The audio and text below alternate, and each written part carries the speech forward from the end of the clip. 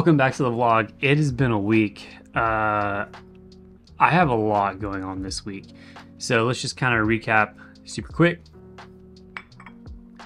Dude, having having a rocket at home for espresso and cappuccino is it's a game changer. I'm spoiled. Um, thanks to my team director for for getting me the whole setup. Dude, anyways, uh, let's jump into just kind of what's been going on. Like, it's been like you can see when I started this snow, cold. Man, it was like 19 degrees yesterday. It's like negative something Celsius. Just, just overall, it's been hard. Uh, this week I am stuck indoors on the trainer doing Zwift. I did. Uh, let's see here. Saturday. Did I get outside Saturday? No, I think I was on the trainer. See, I was on the trainer Saturday. Sunday, five and a half hours. Oh, five and a half hours on Zwift. That's five and a half hours of my life I'll never get back. Anyways, that was, gosh, that was a big day. That was a long day. Uh, the other thing is Monday was rest day.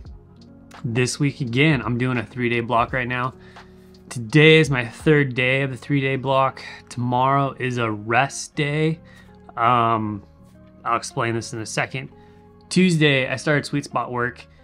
Uh, basically, was doing 20 minutes, 15 minutes, 15 minutes, like five to eight minute rest in between. Um, the goal was to push 335 to about 345. So that was my sweet spot. Uh, my given weight right now, weighing 148 pounds. So for the sweet spots, that put me at 5 watts per kilo. That's super cool.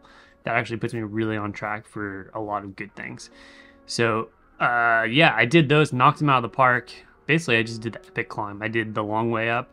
Uh, took me literally, I got there just under 20 minutes, so I just carried over the top, but KOM'd it on, on so that's kind of cool. Went down the backside and then went back up the epic climb that way, and it took me about 16 and a half minutes. So that interval ended up being a little bit longer. Then I went back down the long way, and then I went back up that way, and I actually beat my time by uh, 10 seconds on that third one. So instead of doing 15 minutes, I did almost 20 minutes again. Um, but yeah, super strong. And then the legs afterwards were, they were cooked, but um, the endurance work was good. Yesterday was a long four hours, 415, something like that, of just zone two endurance. And that is probably the hardest work to do on the bike. Doing just zone two endurance on Zwift is just, oh, someone put me out of my misery. It is tough. Today though, we have three and a half hours. We, I, I have three and a half hours. Um, I'm gonna be doing basically just aerobic endurance, um, zone two until the last, I think hour and 15 minutes, the last hour and 15 minutes of this ride. I'm gonna do uh, two minutes at threshold and then 20 minutes at tempo. So it's like an over under, but not really. So it's two minutes at threshold at high cadence, and then it's 20 minutes at tempo uh, with like a lower cadence. Then I get like a two minute break, and I do two more sets of that. So I'm doing three sets total, and that's going to be about an hour and 12 minutes worth of of tempo like semi threshold work. Um, yeah, and then after that, dude, I'm packing. I am packing for not only going out to California, San Diego to do a mini camp this weekend. Is there a bike there for me? I have no idea. Um, our apparently our inventory is a little bit behind. Uh, it's just Specialized is slammed with inventory, so they're doing the best they can though. That's what I love about Specialized. Specialized is always on the ball. Um, so far, all the UCI guys at camp have gotten bikes. Uh, me and Renee show up tomorrow. We're not really sure if we have bikes or not, so I'll be traveling with a bike, unfortunately, um, or fortunately, however you look at it. Best case is I have a bike there and I have a spare bike. Uh, worst case is I just have one bike, which is fine. And then, um, yes, most of our kit stuff has come in. Assos is still delivering some of the stuff, but either way, I'm gonna get some things, so that's cool. And then after that, I'm going up to Fresno for two weeks, hang out with my boy Nick.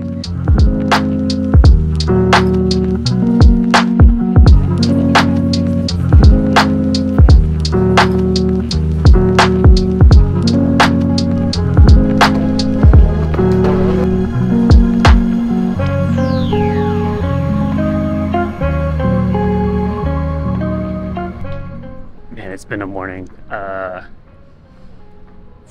snow all the way down. So hopefully flight doesn't get delayed or canceled. Well, it's not, I don't think it's gonna get canceled, but hopefully it doesn't get delayed. We shall see. Uh, yeah, made it here to Emily Fashion, so that's good.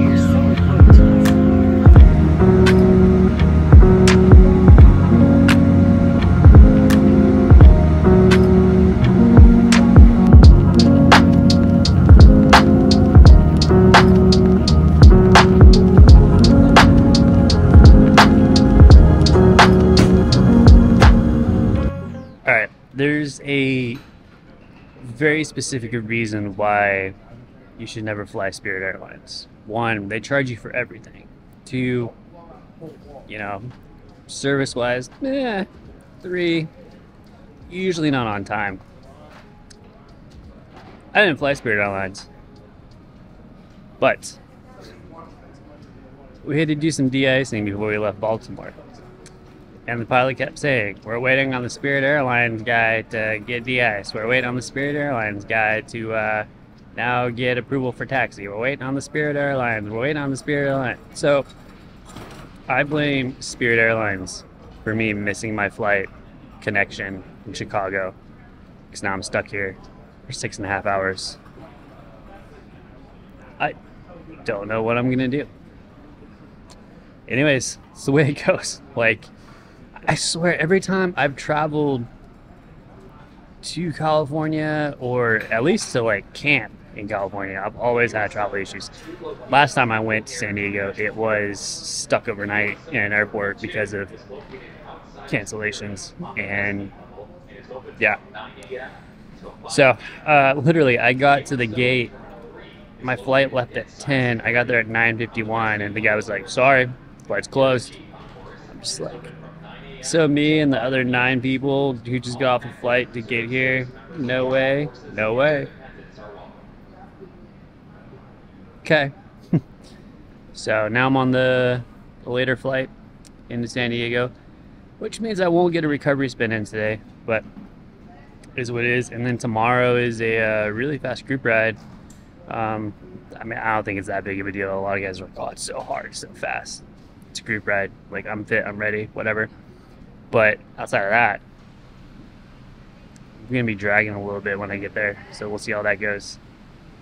Yeah, I had Starbucks. I haven't had Starbucks in forever because I have the espresso machine at home. I just got my first uh, Christmas cup of the season. Where's it at? Here we go. Starbucks. Remind you of how you can lose all of your money and how you can also drink 400 calories worth of a mocha. Thank you, Starbucks.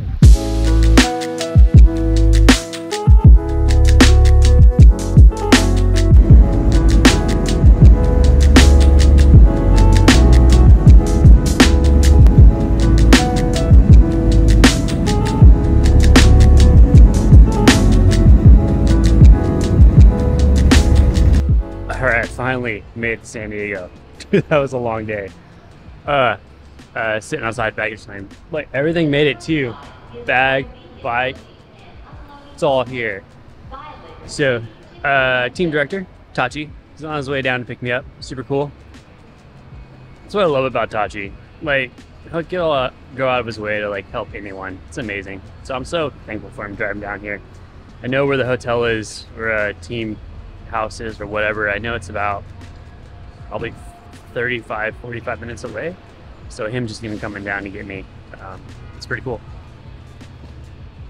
I'm exhausted. I'm so tired.